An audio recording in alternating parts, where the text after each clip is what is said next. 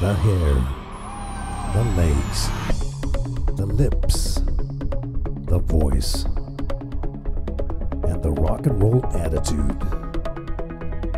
Simply the best with Luisa Marshall.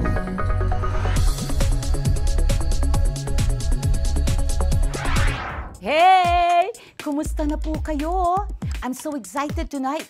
I'm going to take you all to a journey to Kalibo, Aklan. But not really. It will feel like we're there, but not really. Anyway, I had the best time at the Vancouver Philippine Ati Atihan Festival. And I am proud to show all of you, my precious viewers, what this is all about. Tonight's show is most especially for all those who hasn't experienced the most fun and the most noisy Philippine-style Mardi Gras in Vancouver. Here's a sneak peek of what you actually missed. Tonight, ipapakita po namin ang Vancouver Philippine Ati-Atihan Festival. Marami pong dumalo sa St. Francis Xavier Gym last January 9th to witness the wildest and the noisiest Filipino fiesta. The name Ati-Atihan means make-believe atis. It is a very colorful festival in honor of the Santo Niño, the oldest religious image in the Philippines. History said that the Spanish warrior Magellan gave the Santo Niño as a gift, and the people rejoiced the arrival of the Santo Niño by celebrating on the streets. This is held every third week of January every year in Kalibo, Aklan. The wild dancing and the pulsating rhythms of the drums makes this festival very similar to Brazil's Mardi Gras celebration.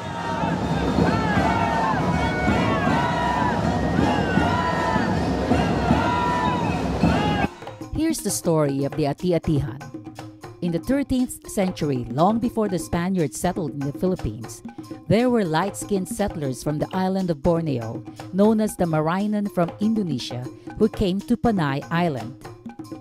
The local people of Panay, also known as the Ati, sold them a small piece of land and permitted them to settle down in the lowlands. The Atis lived more upland in the mountains. One time, the Ati people was in need of food because of a bad harvest when strong rains wiped out the entire hillside crops. They came down to the lowlands of the Marainan and asked them for food. Every year since then, the Atis came down to the lowland people to ask for some food. The lowlanders who had a good harvest shared their blessings with the Ati. They danced and sang in gratefulness for the helping hand. A real friendship was born, and the Marainan started to paint their faces black in honor of the Atis and took part in the festival. Ati-Atihan is now the Filipino Mardi Gras, which is one of the most exciting, most colorful, and fun festivals in the Philippines. The participants paint their faces in many different ways and wears very colorful ethnic costumes, sometimes carrying a torch or sword as accessories. The festivals now includes any local group in Aklan with a unique tribal tradition and also other commercial organizations and other individuals who want to participate and create outstanding costumes every year. And no matter what age you are, you are welcome to join. Dance, chant, beat on the drums, or just take pictures in the middle of everything. The Ati-Atihan Festival has become a major tourist attraction when it started the native dance competitions of the participants to the drum beats that run for several days. The competitors create their own colorful, outrageous costumes, very interesting looking masks, and unique headdresses. And some would paint their bodies with black ash to look dark like the native Ati. I remember when my father used to bring me and my siblings to one Ati-Atihan festival in Manila. I was just a little girl and I remember being overwhelmed by it all. The parade, the mask, and the wild loud sound of the drums. But now I am ready to be part of this right here, right now in Vancouver. Here's my Vancouver Philippine Ati-Atihan experience. It's time to party and dance to the beat of the drums. Woo! We are not in Kalibo, Aklan. Nandito po tayo sa St. Francis Xavier Gym in Vancouver para ma-celebrate natin ang Philippine Ati-Atihan Festival. Although this festival is normally celebrated out on the streets, the organizing committee of the Aklanon Association decided to celebrate indoors so rain or shine, the celebration goes on. However, there are plans of putting it out on the streets next year. Mayor Gregor Robertson officially proclaimed January 9th as the Philippine Ati-Atihan Day in the city of Vancouver. The whole Filipino community is so excited on this proclamation, and this will give us more reason to party that night.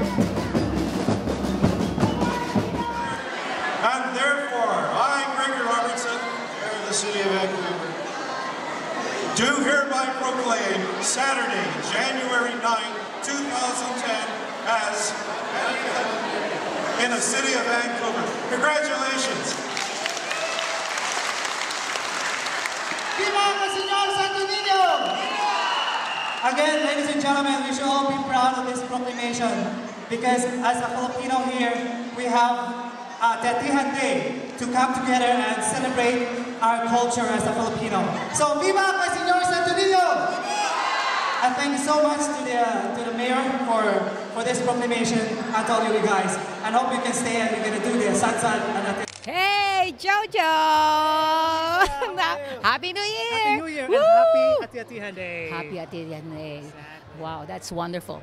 Anyway, ladies and gentlemen, I just would like to refresh the memory of our viewers again.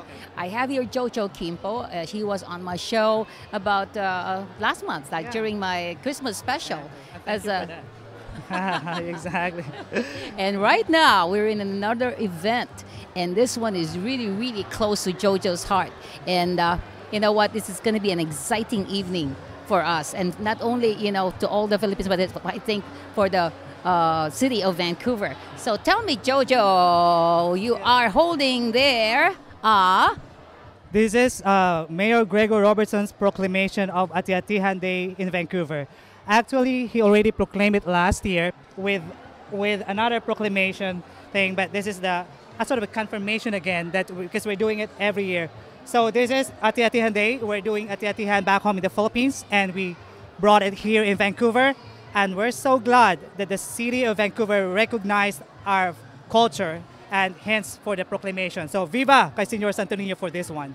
That's amazing, Jojo. Congratulations to you. I know that you've done a lot of hard work to be able to reach this point.